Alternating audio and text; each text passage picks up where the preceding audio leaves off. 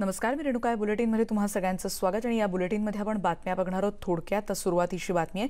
दिल्ली विद्यापीठाला यू जी सीची अंतिम वर्षाची पदवी परीक्षा तीस सप्टेंबरपर्यंत घेण्याच्या निर्देशांबद्दल सुप्रीम कोर्ट आज निकाल देण्याची शक्यता आहे. सुप्रीम कोर्टाच्या निर्णयाकडे आज देशाचं लक्ष लागलंय.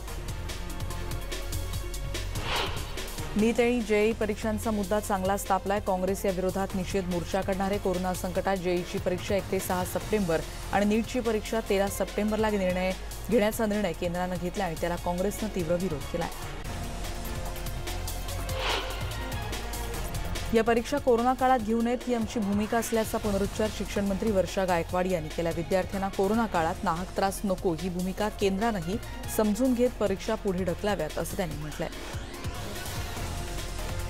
नीट आणि जेई संदर्भात दाद मागण्यासाठी विरोधी पक्षांनी आता सुप्रीम कोर्टाचं दार ठोठवलंय कारण सोनिया गांधींसोबतच्या बैठकीनंतर हा निर्णय घेण्यात आला. उत्तर प्रदेशचे माजी मुख्यमंत्री अखिलेश यादव यांनी या दोन्ही परीक्षा घेण्याच्या निर्णयाला कडाडून विरोध दर्शवलाय. ओडिशाचे मुख्यमंत्री नवीन पटनायक यांनीही नीट आणि जेई परीक्षा पुढे ढकलण्यात याव्या अशी मागणी पंतप्रधानांकडे केली आहे विरोधक या दोन्ही परीक्षा घ्यायला विरोध करत असले तरी दीडशे शिक्षण तज्ज्ञांनी पंतप्रधानांना चिठ्ठी लिहून परीक्षा घेण्याची मागणी केली आहे नीटच्या परीक्षेसाठी आतापर्यंत नऊ लाख विद्यार्थ्यांपैकी जवळपास सात लाखाहून अधिक विद्यार्थ्यांनी ऍडमिट कार्ड डाउनलोड केले आणि शिक्षण मंत्रालयाकडून ही माहिती मिळाली आहे. भारताच्या क्षमतेला आणि जागतिक शांततेला चालना देणं आणि त्यासोबतच जागतिक अर्थव्यवस्था अधिक स्थिर ठेवायला मदत करणं हे आपल्या सरकारच्या आत्मनिर्भर भारतचं लक्ष आहे असं पंतप्रधानांनी म्हटलंय. संरक्षण विषयकाच्या चर्चासत्रात काल ते बोलत होते. संरक्षण क्षमतेत आत्मनिर्भर झालं तर भारत मैत्रीचे संबंध असलेल्या अनेक देशांचा संरक्षण विषयक पुरवठादार होईल आणि भारतीय महासागरात सुरक्षा विषयक पुरवठादार म्हणून भारताच्या स्थानाला अधिक प्रोत्साहन मिळेल असंही ते म्हणाले. आरक्षणाच्या विभागणीसाठी अनुसूचित जाती जमातींमध्ये उपप्रवर्ग तयार करण्याचा अधिकार राज्य सरकारांना नाही. या सुप्रीम कोर्टाच्या दोन हजार चारच्या निकालाचा फेरविचार करण्याची गरज असल्याचं सुप्रीम कोर्टानं म्हटलंय. सात किंवा त्याहून अधिक न्यायाधीशांच्या पीठानं निकालाचा फेरविचार करणं आवश्यक आहे असंही न्यायालयानं स्पष्ट केलं आहे सिंग मृत्यू प्रकरणात नार्कोटिक्स कंट्रोल ब्युरोनं प्रत्येक गोष्ट आता खणून काढायला सुरुवात केली. केपीएस मल्होत्रा यांच्या नेतृत्वात नवी दिल्लीतून नार्कोटिक्स कंट्रोल ब्युरोचे अधिकारी मुंबईत दाखल झाले. प्रिया चक्रवर्तीच्या चॅटमधून समोर आलेल्या ड्रग्ज कनेक्शन प्रकरणी चौकशीला आता वेग आलाय कारण ड्रग तस्कर गौरव आर्याच्या चौकशीसाठी एनसीबीनं गोव्यातल्या त्याच्या अनेक ठिकाणांवर छापे टाकले. लवकरच त्याला अटक होण्याची शक्यता आहे. ड्रग्ज प्रकरणी रिया चक्रवर्तीसह पाच जणांवर आता गुन्हा दाखल करण्यात आला गेल्या दोन महिन्यात इम्तियाज खत्रीची चौकशी का केली नाही असा सवाल आता राम कदम यांनी उपस्थित केलाय. नाईटलाईफ संस्कृतीचे पुरस्कर्ते तसंच ड्रग पब अँड पार्टी गँगनं सुशांत सिंग राजपूतचा बळी घेतला अशी टीका भाजपचे नेते आशिष शेलार यांनी केली आहे. रियानं सुशांतवर विषप्रयोग केल्याचा आरोप करत तिला अटक करण्याची मागणी सुशांतच्या वडिलांनी केली आहे. ते पहिल्यांदाच काल कॅमेऱ्याच्या समोर आले. सीबीआयच्या चौकशीतून एक धक्कादायक खुलासा आलाय. आठ जूनला सुशांतचं घर सोडताना सिद्धार्थ पिठाणीच्या मदतीनं सुशांतच्या घरातील आठ हार्ड ड्राईव्ह फॉर्मॅट करण्यात आले होते अशी माहिती करते या आठही हार्ड ड्राईव्हमधला डेटा तिनं डिलीट केला अशी सध्या चर्चा आहे. कंगना राणातला सुरक्षा देण्याची मागणी सुशांतची बहीण श्वेता सिंग हिनं पंतप्रधानांकडे केली आहे. महेश मांजरेकर यांना अबू सालेमच्या नावानं धमकी देण्यात आली आहे. त्यांच्याकडे पस्तीस कोटींच्या खंडणीची मागणी करण्यात आली. या प्रकरणी मुंबई पोलिसांकडून एकाला अटक करण्यात आली. लोकल चालवायची की नाही हा पूर्णपणे राज्य सरकारचा निर्णय आणि राज्य सरकारनं मान्य केलं तर आम्ही तयार आहोत असं मध्य रेल्वेनं म्हटलंय. मध्य रेल्वेचे डीआरएम शलभ गोयल यांनी घेतलेल्या पत्रकार परिषदेत ही माहिती दिली.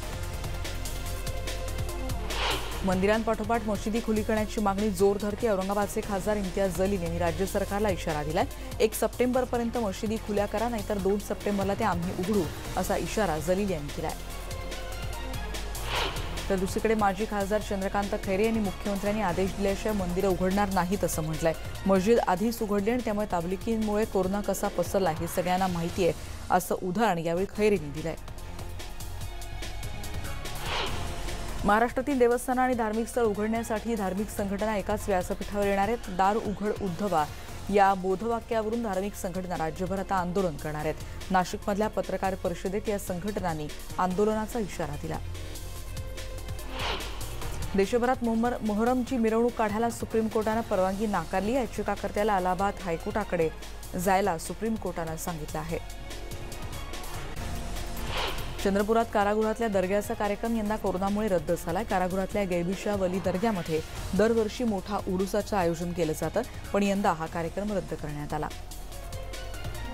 राजस्थान सरकारनं नियमांचं पालन करून धार्मिक स्थळ उघडण्याची परवानगी दिली आहे त्यामुळे सात सप्टेंबरपासून या राज्यातली धार्मिक स्थळं उघडली जाणार आहेत.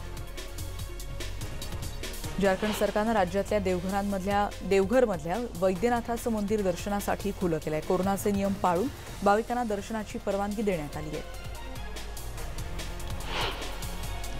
आता बातमी आहे कोरोना संदर्भातली राज्यात कोरोनाबाधितांच्या संख्येत चौदा हजार सातशे अठरा रुग्णांची वाढ झाली आहे. दिवसभरात तीनशे पंचावन्न रुग्णांचा मृत्यू झालाय. नऊ हजार एकशे छत्तीस रुग्णांना डिस्चार्ज मिळालाय. एक लाख अठ्ठ्याहत्तर हजार रुग्णांवर उपचार सुरू आहेत. मुंबई पालिकेकडून कोविड युद्धांची अपेक्षाच होतीये कारण तात्पुरत्या स्वरूपात काम करत असलेले डॉक्टर्स आणि कर्मचाऱ्यांना तीन महिने पगारच मिळाला नसल्याचं समोर आलं आणि त्यामुळे महापालिकेच्या कृतज्ञतेविरोधात संताप वाढतोय. रशियानं कोविड नाईन्टीन विषाणूचं प्रतिबंध करण्यासाठी तयार केलेल्या स्पुटनिक फाईव्ह या लसीच्या व्यावसायिक उत्पादनासाठी रशियानं भारत भारताकडे भागीदारीची इच्छा व्यक्त केली आहे. तिसऱ्या टप्प्यातल्या चाचण्या करण्यासाठी भारतानं मदत करावी अशी रशियाची अपेक्षा आहे. कोरोनामुळे केवळ फुफ्फुसच नाही तर शरीरातील इतर अवयवांनाही गंभीर धोका निर्माण होतो एम्सच्या तज्ज्ञांनी केलेल्या दाव्यानं सध्या चिंतेचं वातावरण आहे. आयसीएमआरच्या ट्विटर अकाउंटवर हॅकर्सनी हल्ला केला आणि या अकाउंटवरून हॅकर्सकडून सरकारविरोधात काही ट्विट करण्यात आले. दिल्लीमध्ये आटोक्यात आलेल्या कोरोनाचा संसर्ग पुन्हा वाढतोय आणि मास्कबद्दलची बेपर्वाई होत असल्यामुळेच कोरोना वाढत असल्याचं तज्ज्ञ म्हणतात राजीनामा दिल्यानंतर शिवसेनेचे परभणीचे नाराज खासदार संजय जाधव यांनी काल मुख्यमंत्र्यांची वर्षावर भेट घेतली आणि त्यानंतर जाधव यांची नाराजी दूर झाल्याचं कळतंय. त्यांनी बुधवारी त्यांच्या खासदारकीचा राजीनामा मुख्यमंत्र्यांकडे पाठवला होता. वस्तू आणि सेवा करातल्या नुकसान भरपाईपोटी केंद्राकडून राज्याला जुलै दोन हजार वीसपर्यंत बावीस हजार पाचशे चौतीस कोटींची थकबाकी येणं बाकी असल्याचं उपमुख्यमंत्री अजित पवार यांनी म्हटलंय. ही रक्कम वेळेवर न मिळता तशीच वाढत गेली तर दोन वर्षात एक लाख कोटींवर जाईल अशी भीती अजित पवारांनी व्यक्त केली. शेतकऱ्यांच्या दूध दरवाढी संदर्भातल्या आंदोलनात आता राष्ट्रवादी काँग्रेसचे अध्यक्ष शरद पवार यांनी मध्यस्थी करावी आणि शेतकऱ्यांना न्याय मिळवून द्यावा अशी मागणी स्वाभिमानी शेतकरी संघटनेचे अध्यक्ष राजू शेट्टींनी केली आहे. या मागणीआधी त्यांनी केंद्र आणि राज्य सरकारचा निषेध नोंदवलाय. यासाठीच काल बोंबाबोंब आंदोलन करण्यात आलं. काँग्रेसच्या हायकमांडविरोधात पत्र लिहिणाऱ्या काँग्रेसच्या ज्येष्ठ नेत्यांचा शिवसेनेनं काल सामनातून समाचार घेतला. माजी मुख्यमंत्री पृथ्वीराज चव्हाणांना निवडून येण्यासाठी शरद पवारांची मदत घ्यावी लागते असं म्हणत चव्हाणांवर त्यांनी टीकेची झोड उठवली होती. पुण्याहून निघालेली रेडी रेकनरची फाईल बिल्डरांच्या कार्यालयातून टोल गोळा करत तर मुंबईत येत नाहीये ना असा टोला लगावलाय आशिष शेलार यांनी.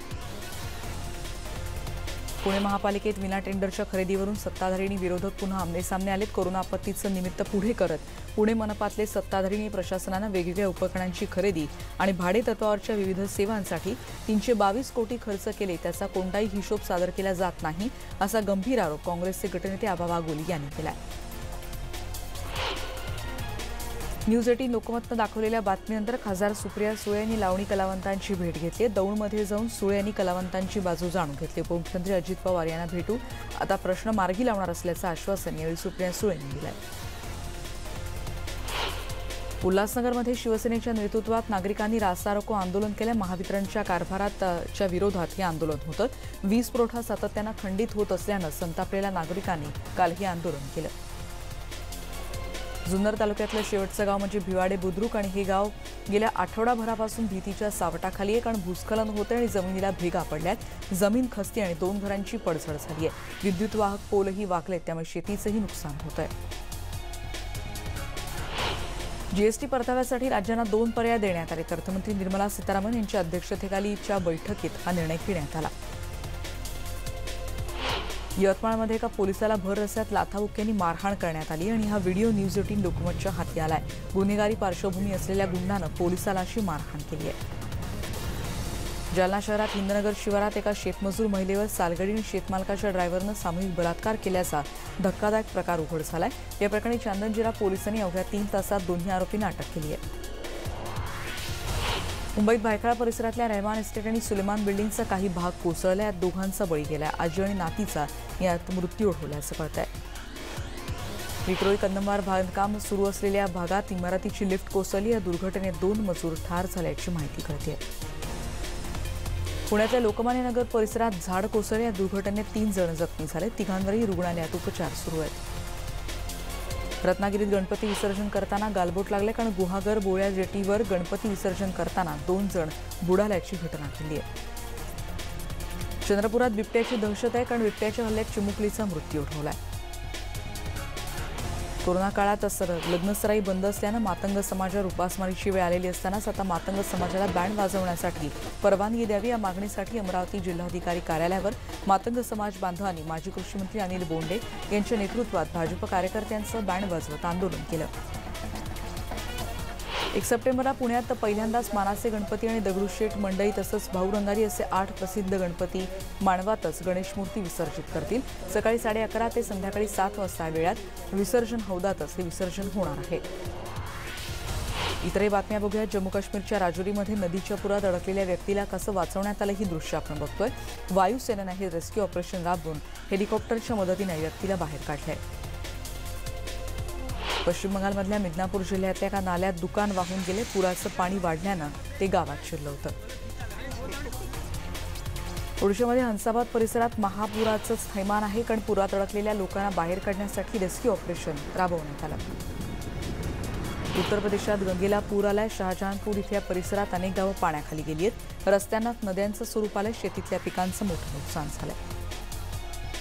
पुलवामातल्या दहशतवादी हल्ल्यासाठी पाकिस्तानातल्या बँकेतून दहा लाख रुपये पाठवल्याचा दावा एनआयकडून करण्यात आलाय. गुजरातमधल्या पोरबंदरमध्ये महापुरानं कहर केल्या कारण लोकांना वाचवण्यासाठी शर्थीचे प्रयत्न करावे लागतात. एका रुग्णाला अँब्युलन्सपर्यंत पोहोचवतानाचा गावकऱ्यांनी केलेल्या मदतीचा हा थरारक व्हिडिओ सध्या आपण बघतोय.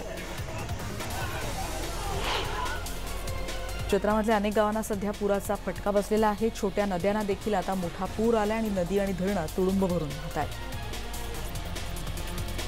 जम्मू काश्मीरमधल्या मेंढर परिसरात टाटा सुमो नदीच्या पुरात अडकली होती. वेळीच पोलीस आणि राष्ट्रीय रायफलच्या जवानांनी ड्रायव्हरचा जीव वाचवला. हिमाचल प्रदेश मंडी जिल्ह्यात दरड कोसळल्यामुळे हायवे बंद झाले अनेक ठिकाणी रस्तेही वाहून गेले.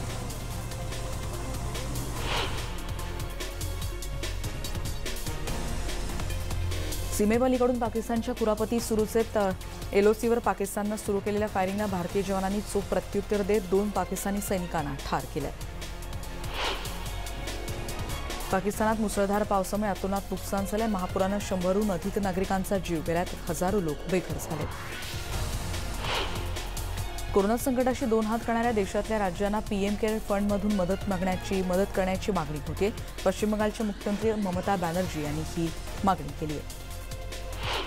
बिहारमधला माघा आघाडी सोडणाऱ्या जितनराम मांझी यांनी मुख्यमंत्र्यांची भेट घेतली आहे. मांझी लवकरच एनडीएमध्ये सामील होणार अशी चर्चा आहे. एनसीसी कॅडेटसाठी संरक्षण मंत्री राजनाथ सिंह यांनी प्राथमिक ट्रेनिंगसाठी एक खास ॲप लॉन्च केलंय. कोरोना काळात एक लाख एनसीसी कॅडेट्सनी केलेल्या कामाचंही त्यांनी कौतुक केलंय. उत्तर प्रदेशमध्ये लखनौ भागात बाहुबली नेता मुख्तार अन्सारीला प्रशासनानं दणका दिलाय. त्याच्या अवैध बांधकामावर हातोडा चालवण्यात आला.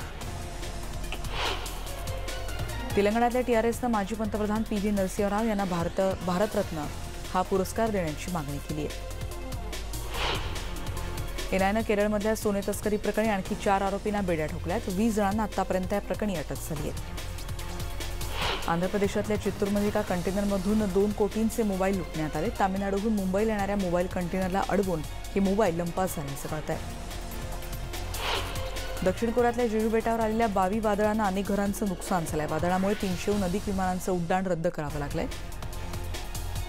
भारत चीनमधल्या तणाव निर्माण झाल्याच्या पार्श्वभूमीवर चीनच्या अलिबाब कंपनी अलिबाबा कंपनीनं भारतातली गुंतवणूक रोखण्याचा निर्णय घेतलाय. भारत सरकारनं टिकटॉकवर बंदी घातल्यानंतर सीईओ केविन मेयर यांनी राजीनामा दिलाय. जगभरात टिकटॉकच्या विश्वासार्हतेवर प्रश्नचिन्ह निर्माण केलं जात आहे. काबूलमध्ये महापुरानं थैमान घातले महापुरात एकशे दहा जणांचा आतापर्यंत मृत्यू झाला मॉरिशसच्या समुद्राच्या किनाऱ्यावर एक हजार टन वजनाचा डॉल्फिन मृतावस्थेत आढळलाय. चीनसारख्या आक्रमक देशाचे अध्यक्ष डोनाल्ड ट्रम्प हेच टक्कर देऊ शकतात असा दावा अमेरिकेचे परराष्ट्रमंत्री माईक पॉम्पिओ यांनी केलाय. कोरोनाच्या रूपात मृत्यू पसरवणाऱ्या आणि अमेरिकेला आर्थिक पातळीवर उद्ध्वस्त करणाऱ्या चीनला ट्रम्पच वटणीवर आणू शकतात आणि त्यांना देशात न्यायाधिष्ठित पातळीवर शिक्षा करू शकतात असंही त्यांनी म्हटलंय. अमेरिकेत चीनला चीनमधला वाद वाढताना दिसतोय. दक्षिण चीन महासागर हाँगकाँग आणि तैवानच्या मुद्द्यावर. दोन्ही देश आता व्यापार युद्धाकडे वळलेत असं पाहायला मिळते चीनी सैन्याची मदत करणाऱ्या चोवीस कंपन्यांवर अमेरिकेनं बंदी घालण्याचा निर्णय घेतलाय. यंदाचा आय पी एल हंगाम युएईत आयोजित करण्यात आला. एकोणीस सप्टेंबर ते दहा नोव्हेंबर या काळात ही स्पर्धा खेळवली जाईल. युएईतल्या तीन मैदानांवर हे सामने आता खेळवले जाणार आहेत. दुबई किंग्स इलेव्हन पंजाब आणि राजस्थान रॉयल्सच्या तीन खेळाडूंचा कोरोना चाचण्या निगेटिव्ह आल्यात. त्यामुळे त्यांनी आता क्रिकेटच्या प्रॅक्टिसला सुरुवात केली आहे. सहा दिवस त्यांना क्वारंटाईनमध्ये ठेवण्यात आलं होतं. इंग्लंड वेस्ट इंडिज महिला क्रिकेट टीममध्ये पाच टी ट्वेंटी सामन्यांच्या सिरीजची घोषणा करण्यात आली. एकवीस सप्टेंबरला टी ट्वेंटी सिरीजला सुरुवात होईल. कोरोनाच्या काळात टी ट्वेंटी सिरीज कशी होते हे चाहत्यांसाठी देखील आता उत्सुकतेचं असेल. अमेरिकेत माजी भारतीय ॲथलीट इक्बाल सिंगला अटक करण्यात आली. त्यांच्यावर पत्नी आणि त्यांच्याच आईच्या खुनाचा आरोप होता. या आरोपांखाली त्यांना अटक करण्यात आली आहे. ते माजी एशियन चॅम्पियनशिप मेडलिस्ट आहेत. अमेरिकेच्या पेनिसिलियामधून ही कारवाई करण्यात आली. मार्या सकारीनं सेरेना विल्यम्सला पराभूत करत west Indies southern open tennis स्पर्धेच्या क्वार्टर फायनलमध्ये प्रवेश केला आहे विजयामुळे मारियाचं कौतुक होतं आहे मेसीने आपण बार्सिलोनाला सोड माफ करा सोडचिठ्ठी देणार असल्याचं जाहीर केलं आणि त्यामुळे त्याच्या फॅन्सना आश्चर्याचा धक्का बसलाय. मेसीच्या समर्थकांनी त्यामुळे रस्त्यावर उतरून आपली भावना व्यक्त केली.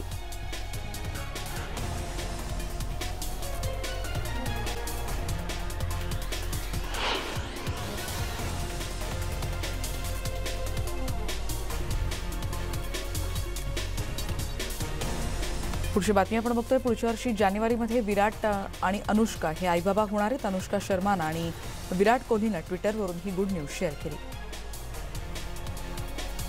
विराट कोहलीचे इंस्टाग्रामवर तब्बल सात कोटी फॉलोअर आहेत आणि सात कोटी फॉलोअर्स असलेला विराट हा आशिया खंडातला पहिला सेलिब्रिटी ठरलाय. आयसीसी वनडे रँकिंगमध्ये विराट कोहली पहिल्या तर रोहित शर्मा आता दुसऱ्या स्थानावर पोहोचलाय. आयसीसीच्या टेस्ट रँकिंगमध्ये ऑस्ट्रेलियाचा स्टीव्ह स्मिथ पहिल्या तर विराट कोहली दुसऱ्या क्रमांकावर आहे. होंडा टू व्हीलर्स इंडियानं अखेर नवीन Honda Hornet two point zero बाईकसोबत एकशे ऐंशी सी सी मोटरसायकल सेगमेंटसोबत एंट्री केली. ही बाईक जबरदस्त आणि प्रीमियम फीचर्ससोबत आल्याचं कळतंय. कंपनीनं अधिकृत वेबसाईट आणि त्याच्या ऑथोराईज डीलरशिप्समध्ये या बाईकचं बुकिंग सुरू केलं आहे टॉमीनं भारतात आपला नवीन budget smartphone Redmi nine launch केला हा रेडमी आठ रेडमी एट स्मार्टफोनचं अपग्रेडेड व्हर्जन आहे. दहा हजार रुपयांच्या कमी किमतीत हा फोन सध्या उपलब्ध आहे.